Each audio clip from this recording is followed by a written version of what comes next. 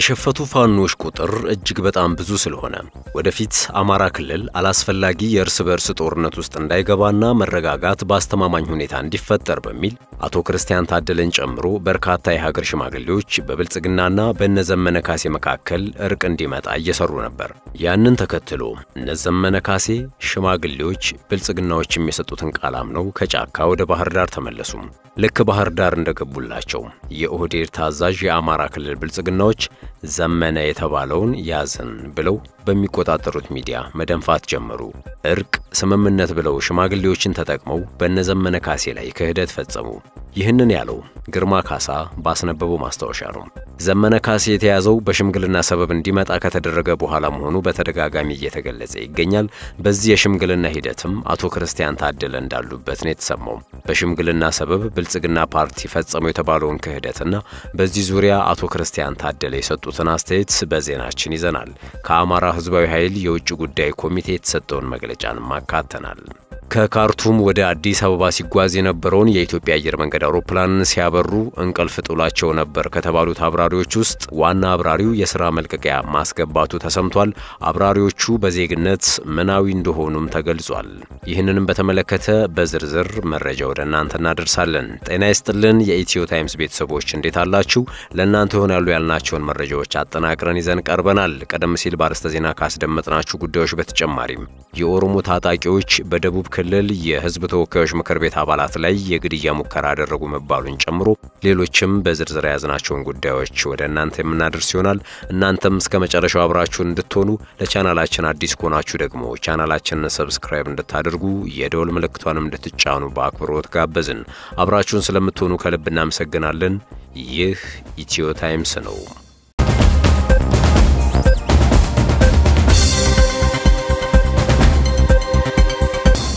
አቃቢ ሕግ ዶክተር ሙሉቀን ሀብቱን ጨምሮ በ11 ተከሳሾች ላይ በሙስና ወንጀል ክስ መስርቷል። አቃቢ ሕግ የኮንዶሚኒየም ዕጣ እንዲጭበረበር አድርጓል የተባሉት የቴክኒክና ሙያ ስልጠናና ቴክኖሎጂ ልማት ቢሮ ኃላፊ የነበሩትን ዶክተር ሙሉቀን ሀብቱን ጨምሮ በ11 ተከሳሾች ላይ በሙስና ወንጀል ክስ መስርቷል። በፍርድ ቤቱም አስረኛ ተከሳሽ ዘካርያስ አየለ ገቢና 11ኛ ተከሳሽ ኤደን ካሳሁን ተሰማ እንዳልቀረቡ ነው የታወቀው። ሌሎቹ ተከሳሾች ግን ማለትም ዘጠኙ ተከሳሾች ፍርድ ቤት ቀርበው ክሱ እንዲደርሳቸው ተደርጓል ነው የተባለው።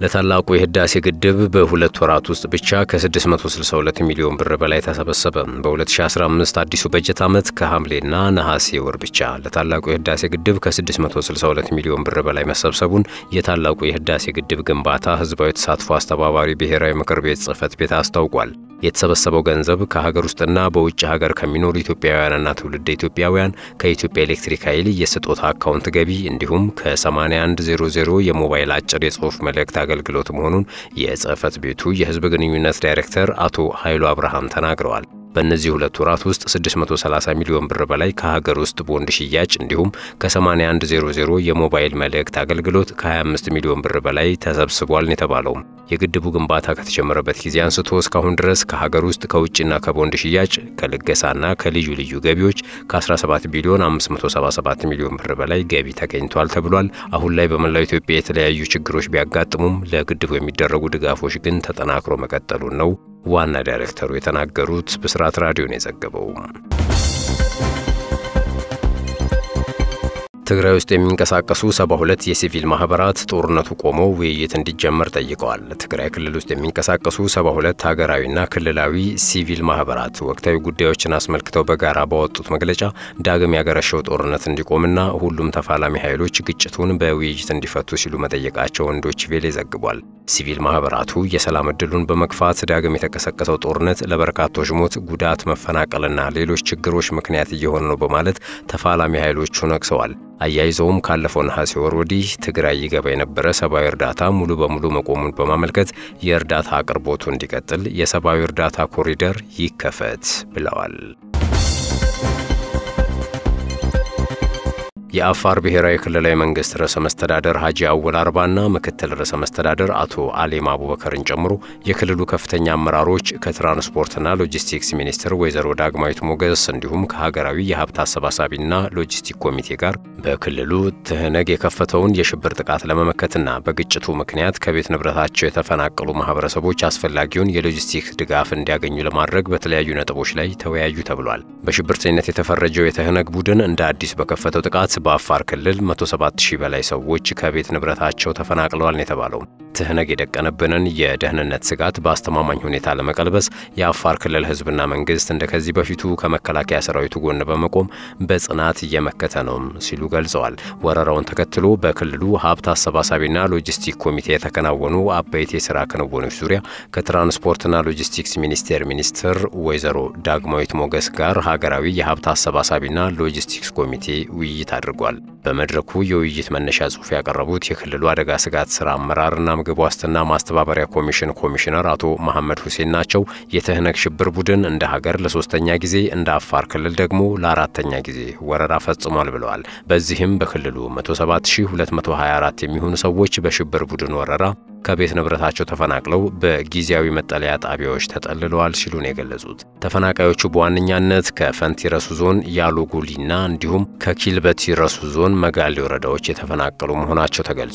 ለእነዚህ ተፈናቃዮችም ከ37 ሺህ ኩንታል በላይ የምግብ ድጋፍ ለእናቶችና ሕጻናት የሚሆን ልዩ ልዩ አልሚ ምግቦችን ጨምሮ በአጠቃላይ ከ43 ሚሊዮን ብር በላይ የሚገመት ሰብአዊ ድጋፍ ተደርጓል ነው የተባለው። ይሁንና ክልሉ በተደጋጋሚ እያጋጠሙ በሚገኙ ሰው ሰራሽና የተፈጥሮ አደጋዎች ህብረተሰቡ ጥሪቱን እያሟጠጠ በመምጣቱ በክልሉ መንግስት ላይ ከፍተኛ ጫና እየፈጠረ የሚገኝ በመሆኑ የፌዴራል መንግስትና አጋር አካላቶች ድጋፍ ያስፈልጋል ነው የተባለው። በመሆኑም አሁን በተከፈተው ወረራ ምክንያት ስለተፈናቀሉና ተያያዥ ሰብአዊ ቀውሶችን ለመቆጣጠር የሚያስችል ምግብ፣ መድኃኒት እንዲሁም ለሌሎች ግብዓቶች የሚውል ከ107 ሚሊዮን ብር በላይ በጀት እንደሚያስፈልግ አቶ መሐመድ ገልጸዋል። የአፋር ክልል ርዕሰ መስተዳድር አወል አርባ በበኩላቸው ባለፉት ተከታታይ ዓመታት የአፋር ህዝብ በተፈጥሮና ሰው ሰራሽ አደጋዎች የተፈተነበት ሁኔታ መኖሩን ገልጸዋል። ይሁንና በዚህ አስቸጋሪ ወቅት ሁሉም ኢትዮጵያዊ ከአፋር ህዝብ ጎን በመቆም አስፈላጊውን ሁሉ ድጋፍ በማድረግ ያሳየው ወገናዊ አጋርነት እየተዘነጋ የነበረውን ኢትዮጵያዊ የመረዳዳት አኩሪ እሴታችንን ያደሰ ነውም ብለዋል። የትራንስፖርትና ሎጂስቲክስ ሚኒስትር ወይዘሮ ዳግማዊት ሞገስ በበኩላቸው እየገጠሙን ያሉ የተፈጥሮና ሰው ሰራሽ ፈተናዎችን በኢትዮጵያዊ የመረዳዳትና መተጋገዝ እሴት በድል እያለፍን እንገኛለን ያሉት ለዚህም የአፋር ህዝብ አስተዋጽኦ የላቀ መሆኑን ገልጸዋል። በተለይም በሽብርተኝነት የተፈረጀውን ቡድን ወረራ ነቅቶ በመጠበቅና በመመከት ሀገሩን ያኮራ ጽኑ ኢትዮጵያዊ መሆኑን አስመስክረዋል። በዚህም አፋር የሀገሩን ዳር ድንበር ከመጠበቅ ባለፈ ሰንደቅ ዓላማውን እንኳን ህዝቡ ግመሉ ያውቃል የሚለው ታሪካዊ አባባል በተግባር ማስመስከር ችለዋል ነው ያሉት ሚኒስትሯም። በደቡብ ክልል አማሮ ልዩ ወረዳ በህዝብ ተወካዮች ምክር ቤት አባላት ላይ የግድያ ሙከራ ተደረገ ተብሏል። በጥቃቱ አምስት የአካባቢው ሰዎች ሲገደሉ ሌሎች አራት ሰዎች መቁሰላቸውን የዓይን እማኞች ነገሩኝ ሲል ዶችቬሌ ዘግቧል። የምክር ቤት አባላቱ የግድያው ሙከራው የተቃጣባቸው በልዩ ወረዳው በኮሬ ብሔር አባላት ላይ ይፈጸማል የተባለውን የዘር ተኮር ጥቃት ለማጣራት ወደ ልዩ ወረዳው ባመሩበት ወቅት ነበር። የግድያ ሙከራው በተደረገበት የዱር ባዴ ቀበሌ ነዋሪ ነኝ ያሉ አንድ የዓይን እማኝ ጥቃቱ ትላንት ከቀትር በኋላ የተፈጸመው በቀበሌው መልካ ወዳ በተባለ መንደር ውስጥ መሆኑን ተናግረዋል። ከፌዴራሉ መንግስት የተላከው አጣሪ ኮሚቴ የጥቃቱ ሰለባዎችን ለማነጋገር ወደ መንደሩ ለመግባት በተቃረበበት ወቅት ነዋሪው ተሰባስበው ሲጠባበቅ እንደነበር የጠቀሱት የዓይን እማኙ በመሃል ግን የኮሚቴው አባላት ወደ መንደሩ ሊደርሱ ጥቂት ኪሎ ሜትሮች እንደቀራቸው ከኦሮሚያ ምዕራብ ጉጂ ዞን አቅጣጫ የመጡ ታጣቂዎች የተኩስ ርምታ ከፈቱ ብለዋል። የኮሚቴው አባላቱ ወደ ኋላ እንደተመለሱና ተሰብስበው ከነበሩት ነዋሪዎች መካከል ደግሞ አምስት ሰዎች በጥይት ተመተው ወዲያውኑ መሞታቸውን የጠቀሱት በጥቃቱ የቆሰሉ ሌሎች አራት ሰዎችም ወደ ጤና ጣቢያ ተወስደዋል ብለዋል። በተወካዮች ምክር ቤት የአማሮ ልዩ ወረዳ ተመራጭ የሆኑት ዶክተር አወቀ ሐምዛይ ኮሚቴው በታጣቂ ቡድኑ በገጠመው ችግር ለጊዜው የማጣራት ስራውን አቋርጦ ወደ አዲስ አበባ በመመለስ ላይ ይገኛል ማለታቸውን ነው ዶችቬሌ የዘገበው። ከካርቱም ወደ አዲስ አበባ ሲጓዝ የነበረውን የኢትዮጵያ አየር መንገድ አውሮፕላን ሲያበሩ እንቅልፍ ጥሏቸው ነበር ከተባሉት አብራሪዎች ውስጥ ዋና አብራሪው የሥራ መልቀቂያ ማስገባቱ ተሰምቷል። አብራሪዎቹ ኢትዮጵያውያን አልነበሩም ተብሏል። ዋና አብራሪው የቦሊቪያ ዜጋ የነበረው ሲሆን በኢትዮጵያ አየር መንገድ ከአራት ዓመታት በላይ በአብራሪነት አገልግሏል ነው የተባለው። ረዳት አብራሪው በበኩሉ ከኢትዮጵያ አየር መንገድ አቪዬሽን አካዳሚ ተመርቆ ባለፈው ዓመት አየር መንገዱን የተቀላቀለ ናይጄሪያዊ ወጣት ነው። ነሐሴ 9 ቀን 2014 ዓ.ም በበረራው ወቅት አጋጠመ የተባለውን ችግር ተከትሎም የኢትዮጵያ አየር መንገድ management ሁለቱንም አብራሪዎች ከስራ አግዷቸው ቆይቷል። አውሮፕላኑ በሰላም ካረፈ በኋላም በዚያው ጠዋት ዋና አብራሪው በኢትዮጵያ አየር መንገድ የ connection በረራ ወደ ሪዮ ዲ ጄኔሪዮ መጓዙንና ወደ ሀገሩ ቦሊቪያ መመለሱ ተሰምቷል። ካፒቴኑ የስራ መልቀቂያውንም ከሀገሩ በኢሜይል አቅርቧል ነው የተባለው። የኢትዮጵያ ሲቪል አቪዬሽን ባለስልጣን ያቋቋሙ ኮሚቴ በበኩሉ ካፒቴኑን ባለበት ስለ ጉዳዩ በስልክ አነጋግሯል ተብሏል። በኢትዮጵያ አየር መንገድ የበረራ operation department ውስጥ የሚሰሩ አንድ ባለስልጣን እንዳሉት አብራሪዎቹ እንዲተኙ ያደረጋቸው ነገር ግልጽ አልነበረም። ጉዳዩን በሚመለከት አየር መንገዱ በኢትዮጵያ ሲቪል አቪዬሽን ባለስልጣን ኮሚቴ ተቋቁሞ ጉዳዩን በማጣራት ላይ ነው ብለዋል። አንድ የኢትዮጵያ አየር መንገድ ከፍተኛ ስራ አስፈጻሚ ደግሞ management ኡ የሁለቱንም አብራሪዎች ውል ለማቋረጥ ወስኗል፣ ነገር ግን የምርመራ ሪፖርቱን መጠበቅ አለብን፣ የሂደት ጉዳይ ነው ማለታቸውን የተሰማው የሸፈቱ ፋኖዎች ቁጥር እጅግ በጣም ብዙ ስለሆነ ወደፊት አማራ ክልል አላስፈላጊ የእርስ በርስ ጦርነት ውስጥ እንዳይገባና መረጋጋት በአስተማማኝ ሁኔታ እንዲፈጠር በሚል አቶ ክርስቲያን ታደለን ጨምሮ በርካታ የሀገር ሽማግሌዎች በብልጽግናና በእነ አቶ ዘመነ ካሴ መካከል እርቅ እንዲመጣ እየሰሩ ነበር። ያንንም ተከትሎ እነ ዘመነ ካሴ ሽማግሌዎች ብልጽግናዎችም የሰጡትን ቃል አምነው የህወሓትን ሶስተኛ ዙር ጥቃት እየተፈጸመ መከፋፈል የለብንም ብለው ከጫካ ወደ ባህር ዳር ተመለሱ። ልክ ባህር ዳር እንደገቡላቸው የኦህዴዱ ታዛዥ የአማራ ክልል ብልጽግናዎች ዘመነ የተባለውን ያዝን ብለው በሚቆጣጠሩት ሚዲያ መደንፋት ጀመሩ። እርቅ፣ ስምምነት ብለው ሽማግሌዎችን ተጠቅመው በነ ዘመነ ካሴ ላይ ክህደት ፈጸሙ። ይህንን ያለው ግርማ ካሳ ነው። ግርማ ካሳ የግጭት ጠማቂው ብልጽግና ክህደት ሲል ከፋኖ ዘመነ ካሴ መታሰር ጋር በተያያዘ ተከታዩን ሀተታ አስነብቧል። እንደሚከተለው እናቀርብላችሁ። አርበኛ ዘመነ ካሴ መታሰሩን ሰማን። ጫካ ተዋግተው ማርከው አሸንፈው ሳይሆን ባህር ዳር ከተማ በሽምግልና ምክንያት ሲመጣ ነው ዘመነን ያዝን እያሉ ያወሩት። በእኔ እምነት አርበኛ ዘመነ ካሴ አንድ የሠራው ትልቅ ስህተት አለ። እርሱም የክህደትና የውሸት ቋት የአብይ አህመድ አሽከሮችን ትርፍ አንጀት የሆኑትን ብልጽግናዎችን አምኖ ባህር ዳር መምጣቱ ነው። ለነገሩ ዘመነን ማሰራቸው ማሰብ ተስኗቸው ደንቆሮዎች ሆነው እንጂ የሚጎዳው እነርሱኑ መሆኑን በተረዱ ነበር። ዘመነ ካሴ የሕዝብ ልጅ ነው፣ በሕዝብ ኃይልም ይፈታል። የብልጽግና መንግሥት በአስር መለያዎችና ባሕርያት ብዙ ጊዜ ስገልጸው ነበር። አንደኛ የጦርነት የዘር ማጥፋትና የዘር ማጽዳት መንግሥት፣ ሁለተኛ የመፈናቀል መንግሥት፣ ሦስተኛ ሰላም ባለበት ግጭትና ቀውስ ጠማቂ መንግሥት፣ አራተኛ የውሸት ቋት የሆነ አታላይና አጭበርባሪ መንግሥት፣ አምስተኛ ዘረኛና ተረኛ አባገዳዊ መንግሥት፣ ስድስተኛ የረሃብና የድህነት መንግሥት፣ ሰባተኛ የመከፋፈልና የመለያየት መንግሥት፣ ስምንተኛ ብቃት የሌለው የመሐይማን ካድሬዎች ስብስብ መንግሥት፣ ዘጠነኛ አፋኝና አጋች አምባገነንና ጸረ ዲሞክራሲ መንግሥት፣ አስረኛ በሌብነት በዝርፊያ የበሰበሰ መንግሥት። አሁን አስራ አንደኛ ጨምሬበታለሁ ከሃዲ መንግሥት የሚል የአብይ አህመድ ኦህዴድ ብልጽግናዎችን ከሃዲነት በጥቂቱ ለማሳየት ልሞክር። ወደ ሥልጣን የመጡት በአዴፓ ወይንም በብአዴኖች ትከሻ ላይ ነበር። ሥልጣን ከያዙ በኋላ ግን አንድ በአንድ እነ አቶ ገዱ አንዳርጋቸውን እነ አቶ ዮሐንስ ቧያለውን የመሳሰሉትን አየር ላይ አንሳፈዋቸዋል። ክህደት ፈጸሙባቸው። ከኤርትራውያን ጋር ስምምነት አድርገው ነበር። ከነ ኢሳያስ አፈወርቂ ጋር በፍቅር እፍ ብለው ነበር። በኋላ ግን ህወሓት ትሻለናለች ብለው ኤርትራውያንን ክደው ከህወሓት ጋር በሚስጥር መደራደር ብቻ ሳይሆን ስምምነት ያደረጉ ናቸው።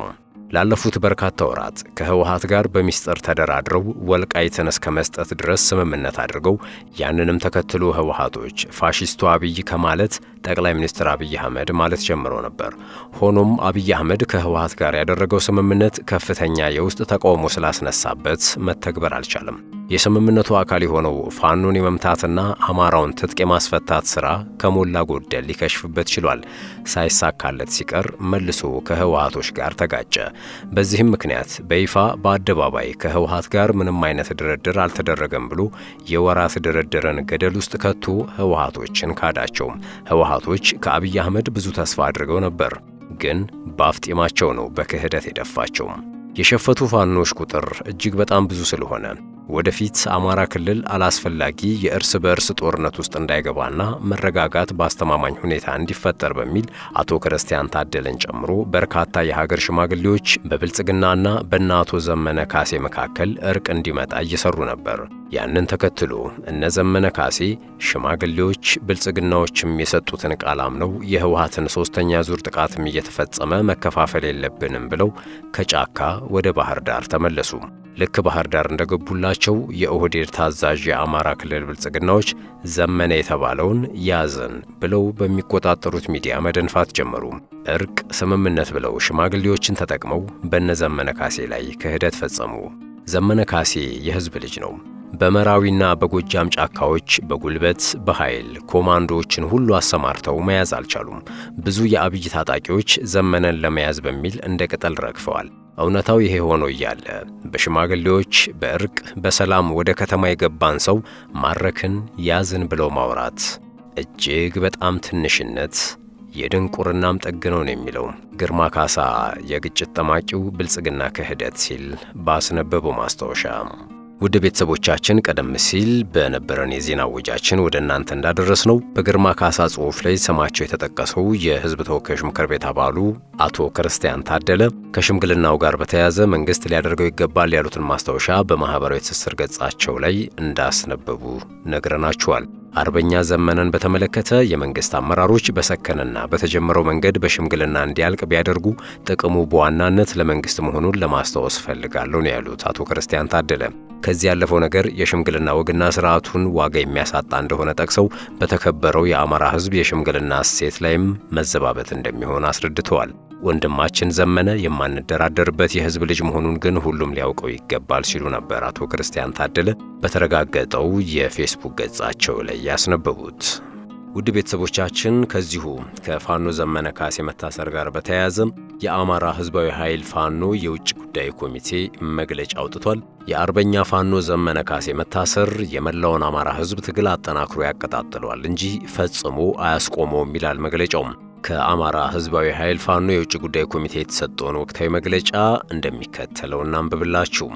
የተከበርከው ውድ ታላቁ የአማራ ህዝብ ሆይ ጸረ አማራ፣ ጸረ ኦርቶዶክስና ጸረ ኢትዮጵያ የሆነው ኦነጋዊው የኦህዴድ ብልጽግና መራሹ ቡድን ታማኝ አገልጋይ የሆነውንና በጫንቃህ ላይ ተጣብቆ ያለው የአማራ ብልጽግና ወይንም በአዴን የአብራክህ ክፋይ የሆነውን አርበኛ ፋኖ ዘመነ ካሴንና ባልደረቦቹን ባህር ዳር 08 ቀበሌ በሁለተኛ ጣቢያ ማሰሩን ለማወቅ ችለናል። እስሩን ተከትሎ በአማራ ክልል ፖሊስ ኮማንደር ክንዱ በኩል አርበኛው ተያዘ ተብሎ የተገለጸበት አገላለጽ ፍጹም ቅጥፈትና ሐሰት መሆኑን ለሕዝባችን እያስታወቅን የፖሊስ ኮማንደሩንና አጠቃላይ የአማራን ክልል ብልጽግናን ጸረ ፋኖና ጸረ አማራ ዘመቻን በጽኑ እናወግዛለን።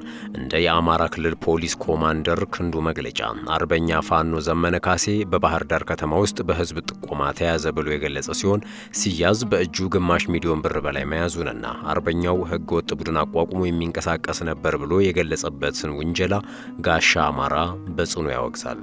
አርበኛ ፋኖ ዘመነ ካሴ መላው የአማራ ሕዝብ በጠላት ተወሮ ህልውናው አደጋ ላይ በወደቀበት ወቅት የክልሉ መንግስት ነኝ የሚለው የአማራ ብልጽግና ወይንም ብአዴን ስድስት ጊዜ የክተት ጥሪ ባወጀበት ወቅት ከአቻዎቹ ፋኖች የእነመቶ አለቃ ማስረሻ ሰጤና የሸዋ ፋኖ አሰግድ ጋር በመሆን የመላው አማራ ፋኖ አደረጃጀትን በአንድ የአማራ ህዝባዊ ኃይል ፋኖ ስር ለማስተባበር የአማራን ፋኖ ያደራጀ የቁርጥ ቀን ልጅ ነው እንጂ ዛሬ የድል አጥቢያ አርበኛ ነኝ ባዩ ኮማንደር ክንዱ እንደገለጸው ዘመነ ያደራጀው ህገ ወጥ ቡድን አይደለም። ስለዚህም የአማራን ፋኖ ህገ ወጥ ቡድን ብሎ የገለጸው የአማራ ፖሊስ ኮማንደር ክንዱን ጋሻ አማራ በጽኑ እያወገዘ መላው የአማራ ህዝብም ፋኖህን ህገ ወጥ ቡድን ያለውን ተቋምና አመራር እንድታወግዝ ጥሪ እናቀርባለን። የእስር እርምጃው ሂደት ላይ ፋኖ አርበኛ ዘመነ ካሴ እኔ በወንድሞቼ ላይ ጥይት አልተኩስም ብሎ ከወሰነና ራሱን ካቀረበ በኋላ የተፈጸመ ክህደታዊና ይሁዳዊ በሆነ እርምጃ ሊታሰር የቻለ መሆኑን እያወቅን እኔ በወንድሞቼ ላይ ጥይት አልተኩስም ብሎ ከወሰነና ራሱን ካቀረበ በኋላ የተፈጸመ ክህደታዊና ይሁዳዊ በሆነ እርምጃ ሊታሰር የቻለ መሆኑን ያወቅን ሲሆን በዚህም ጉዳይ ላይ ተሳታፊ የሆኑትን ማለትም አርበኛ ዘመነ ካሴን አስሮ ለኦሮሞማ ለመስጠት ሴራ ላይ የተሳተፉትን ሁሉ በጽኑ እናወግዛለን፣ አጋልጠንም እንታገላቸዋለን። ኦነጋዊው የኦህዴድ ጸረ አማራ ቡድን በተለያየ ጊዜ ጫካ በመዋጋት ላይ ካሉ የኦነግ ሸኔ አመራሮች ጋር ተነጋግሬ አመጣኋቸው ያላቸውን በርካታ ነፍሰ ገዳይና ጨፍጫፊዎችን እጁን ዘርግቶ በፍቅር እየተቀበለ ባስተናገደበት ሁኔታ በሕዝባችን ጫንቃ ላይ ተፈናጦ አማራን እመራለሁ የሚለን የጃንደረባዎች ስብስብ የሆነው የአማራ ብልጽግና ወይንም ብአዴን ግን አንተ ስትወረርና በጠላት ስትጨፈጨፍ እምቢ ለሕዝቤ ብሎ በመነሳት ታግሎ በመታገል ህልውናህን የሰጠልህን ፋኖና የፋኖ አመራሮችን እንደ ወንጀለኛ በማሰር የኦነጋውያን የኦህዴድን ትዕዛዝ የሚፈጽም ነው የሆነው። ስለሆነም የአማራ ፋኖን ሕገ ወጥ ቡድን ብሎ የገለጸውን የአማራ ፖሊስንም ሆነ የአማራ ብልጽግናን ወይንም ብአዴንን መላው የአማራ ሕዝብ እንዲያወግዘው ጥሪ እናቀርባለን የሚለው። ከጋሻ አማራ የአማራ ሕዝባዊ ኃይል ፋኖ የውጭ ጉዳይ ኮሚቴ የተሰጠው ወቅታዊ መግለጫ